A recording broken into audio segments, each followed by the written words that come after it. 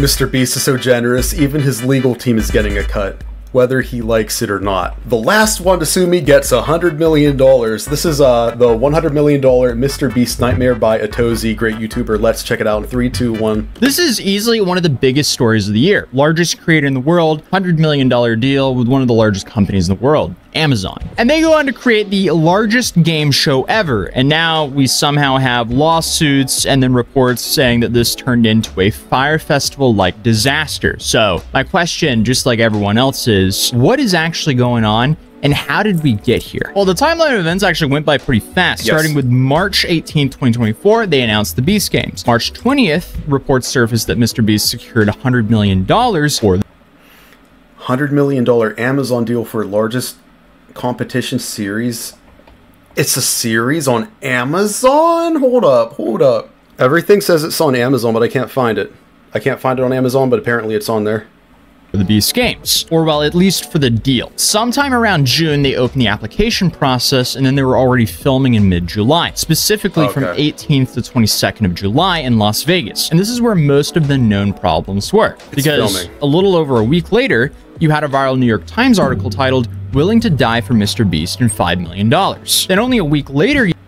Okay, to be fair, article titles, that's a headline. That's just, that doesn't interest me as much as what actually happens. You had anonymous contestants sharing their experience with Rosanna Pansino. Then to back up the claims by New York Times and Rosanna, a lawsuit was filed against Mr. Beast and the production companies involved in Amazon MGM. So I posted an interview last Thursday night where I had the contestant run me through the experience of the Beast game. Okay, good. I'm so excited to see this, but I, I, I hate to defend someone.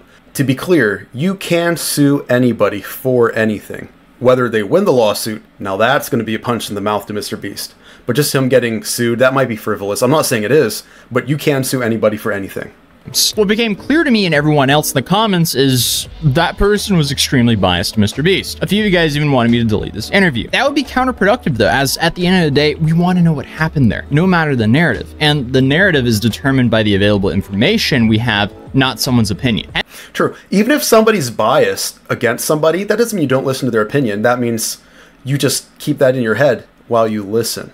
Hence why a lot of you guys were commenting that I was talking to a Mr. Beast plant because the person I was interviewing definitely shared their opinion a lot, which came across as invalidating other people's experiences. And this is why I ended that video saying this. Obviously, me airing this interview is not to take away from the experience of the people who feel wronged from this event. I just think it's important to get as many perspectives as possible out there. But to address the Mr. Beast plant allegations, I can never know 100%, but from what I can tell, I don't think this was the case. Invalidating experiences is like a therapy term that's used a lot.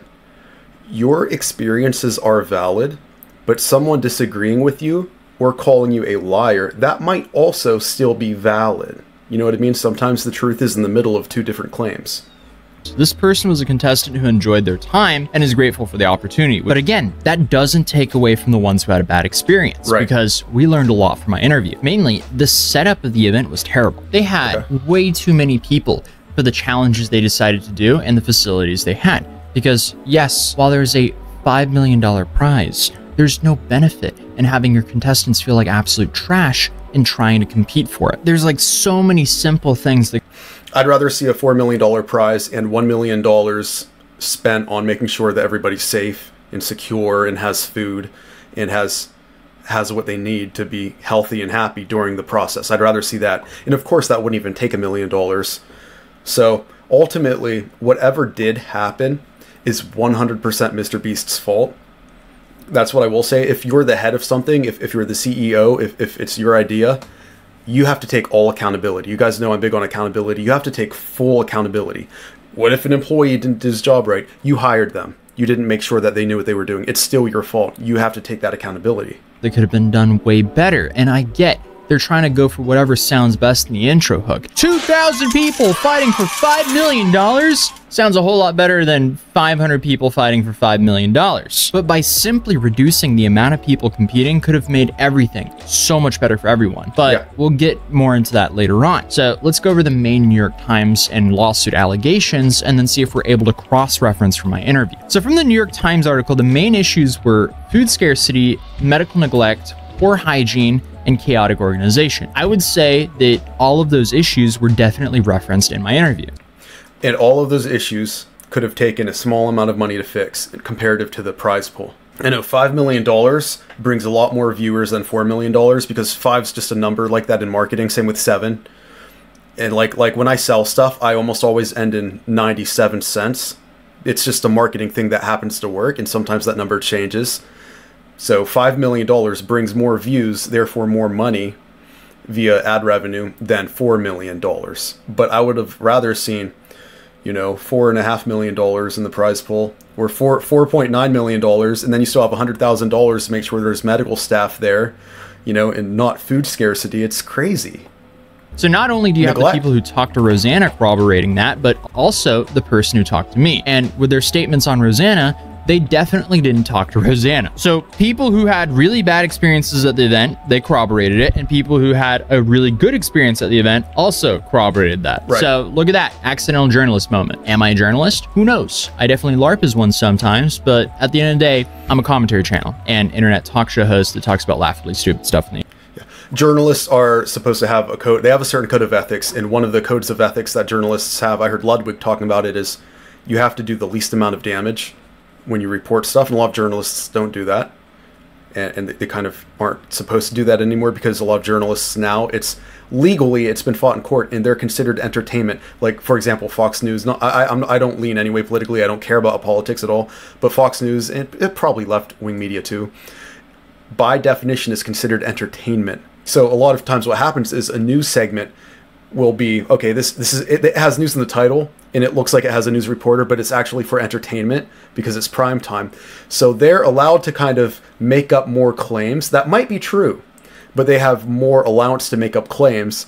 And then during the morning hours when it's considered news and not entertainment they're allowed to say some people suggest that blah blah blah and they're referencing the same staff that made those claims at night. It's a whole wild thing. So I would never consider myself a journalist either. I'm just a commentary channel. I don't want to I don't want to have to oblige by those ethics. The internet. Largest creator ever doing a $5 million game show and people are calling it a Fyre Festival like disaster. That is laughably stupid. Hence why we're covering it here on this channel. But going back to cross-referencing off of my interview, in regards to the chaotic organization, you have the whole intake process that just seemed like a complete disaster. Here's a clip of how chaotic this process was. From the uh, New York Times article, they were saying there was like an intake process, and then like the first day. Is is that true or? Yeah, there was. Uh, so we got there one day. And some people got there like two or three days in advance, just for planning purposes. But you stuck in a number of hotels. They they split all two thousand people between say like three or four hotels. But the intake process happened at Rio Hotel in like the big grand rooms. So eventually, throughout your three or four days, probably on the day that you got there. Mine wasn't until like the second or third day. But they took you into the room, you signed all the paperwork, new NDAs, um, all all sorts of stuff. And then you basically got like your jersey, and then you went back to your hotel room and then waited until they called you down like the morning of to to come down in your jersey. And poor planning on their part, we could have just worn like our normal civilian clothing, but they put us all in trash bags. I guess like that was a last minute decision. which didn't help because then people were like, why, why are there a thousand people in a hotel in trash bags? That like raised some controversy right there. The trash bags were hot. You know, you could just rip bigger armholes or like suck it up. Uh, um, yeah, that wasn't like a good decision on anyone's part. I don't know who that was, why but it probably wasn't Mr. Beast bags? directly. And then, so okay, so you were put in trash bags, and then what happened once why? you were put into trash bags? Why? Once we were put into trash bags, uh, well, they fed us breakfast. They, you had the opportunity to go get your own breakfast before the yeah. trash situation. Then it was like three or four hours of waiting until we got to the Rio Hotel. And they put us in the big grand rooms with, say, like 500 people in each room. Okay. And they would, they would sporadically bring out food. They offered water. You could go to the bathroom.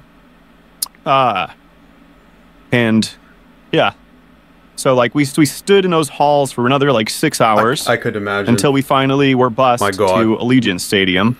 I was an extra in a Channing Tatum movie, and there's just it's all standing around. It's all waiting. It is so boring. All right, guys, you can't have your phones, but put on these trash bags and wait around for like six hours. Have fun. I get that obtaining NDA and liability signatures for 2,000 people, that takes time, but there has to be a more efficient way of doing this. Like, I just can't picture someone in a boardroom saying, hey, what if we put all of the contestants in trash bags and have them wait around for six hours? It's simple. You have more lawyers or more people distribute the NDAs. You don't do it one at a time.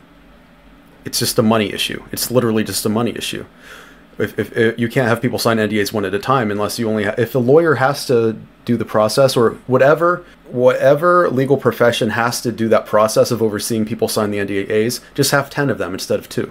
And it would have went 5 times as fast. It's very simple.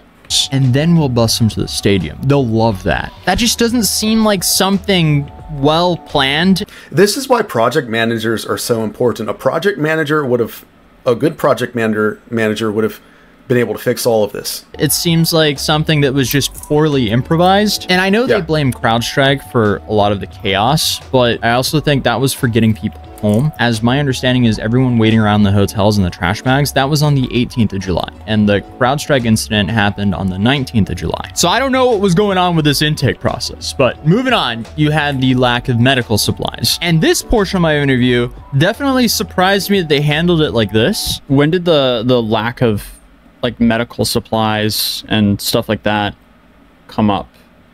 So when you went into the Rio, you kind of like handed off your medical supplies for the Beast Games, and they were going to handle the logistics of it. That just doesn't make sense to me. I, I guess it depends on how important that medication is, but if it's like an inhaler or insulin, that should be pocketed or had in a small bag that's nearby. I don't know if there's a chance that I can die Some insulins have to be refrigerated though to be fair. From not having an inhaler or something important like that, you wouldn't be able to separate me from that thing. And the organizers really shouldn't be putting a contestant in that situation. And then you are in the like should people that require insulin to compete in a show like this knowing it's more risky for your health?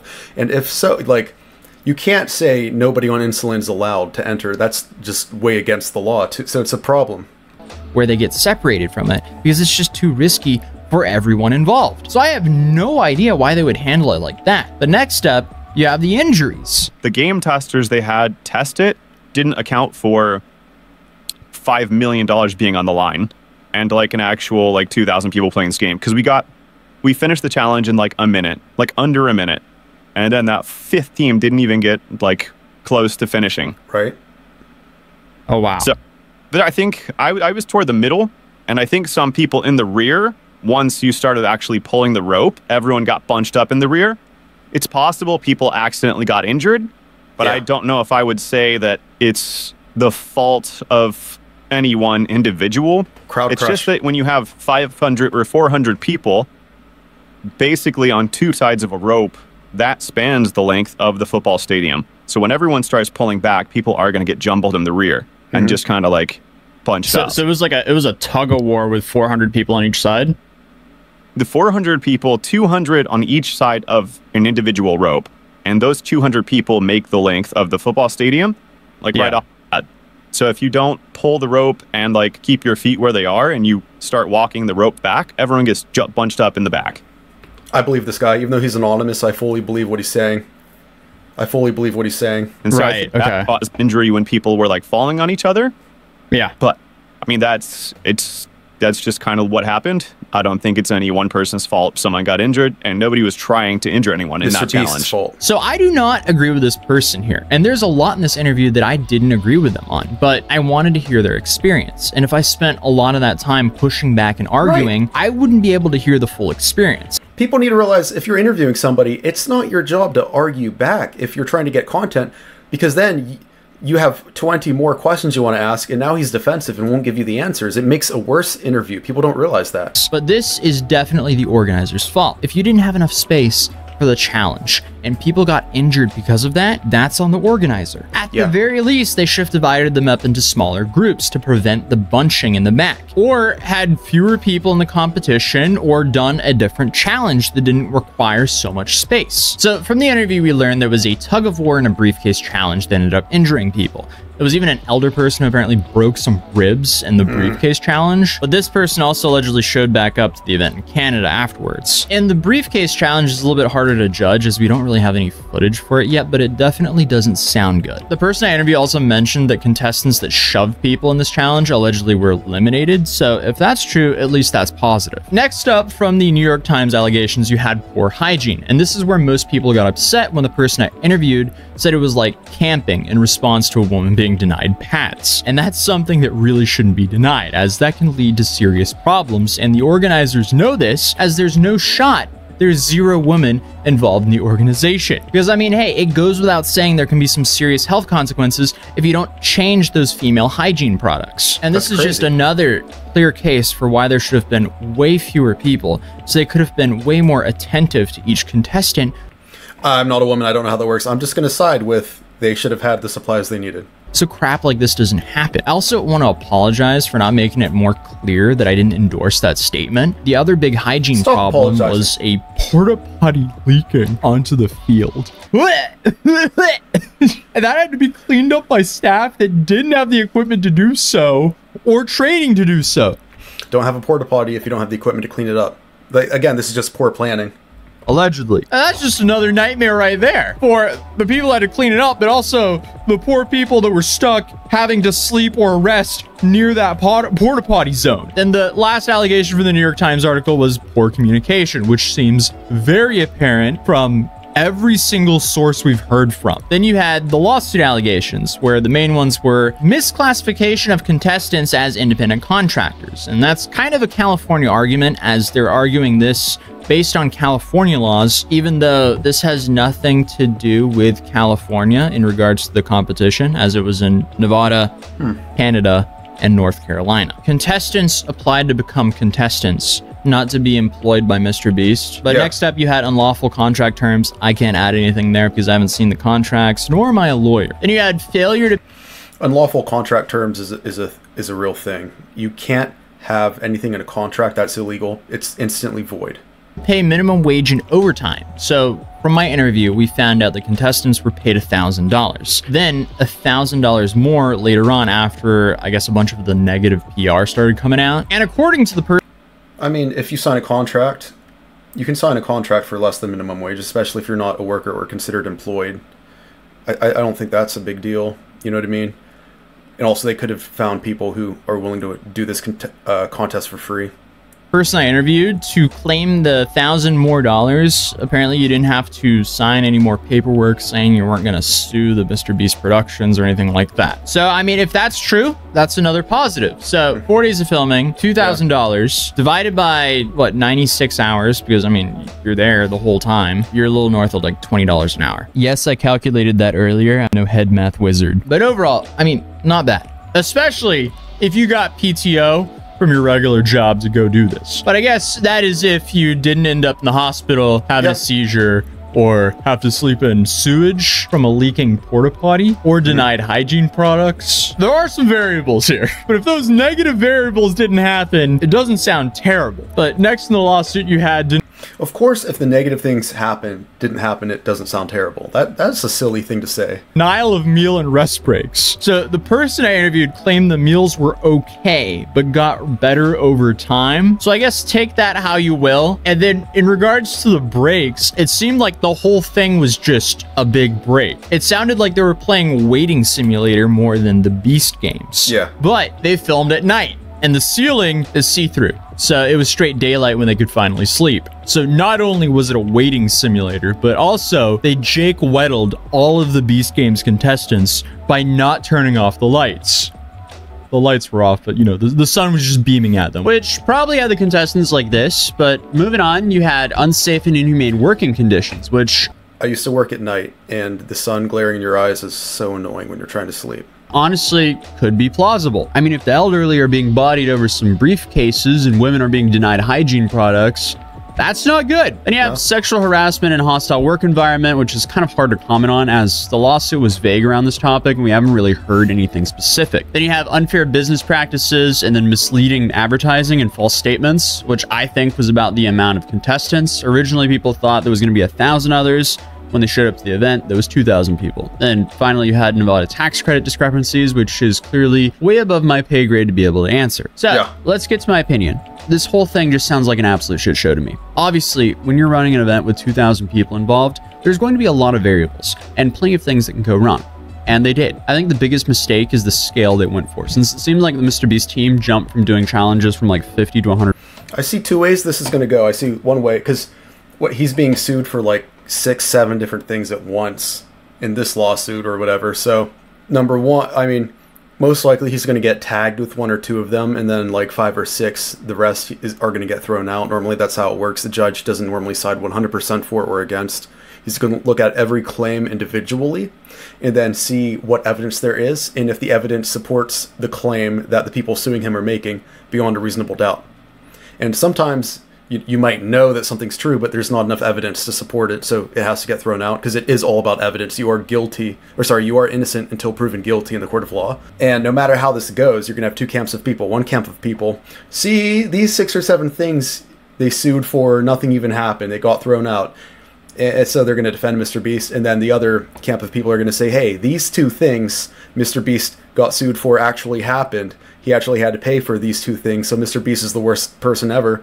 And the people who are for Mr. Beast are still going to be for him. The people who are against Mr. Beast are still going to be against him.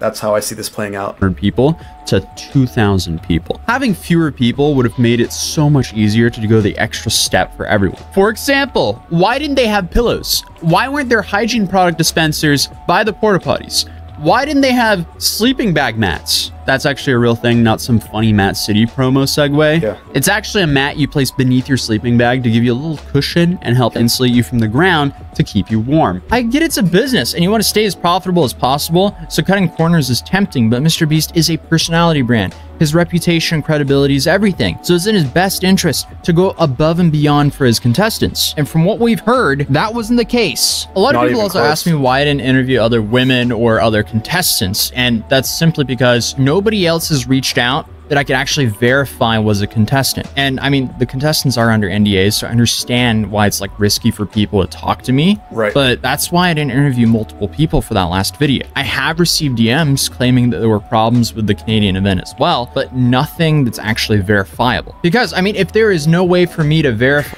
Do you know how I have ADHD? I'm wondering why people are driving on the left side of this road. Are people driving on the left side? So it must not be in the United States, right? Isn't that crazy that that's where my mind goes?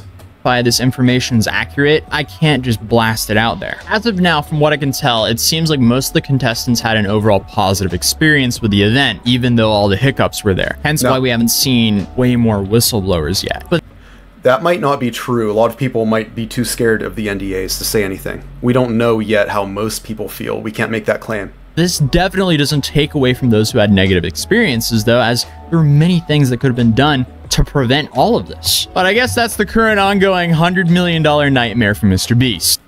Okay, great video by Atozy. Listen, y'all, I'm gonna link the original video, so look for that in the description. Give it a thumbs up.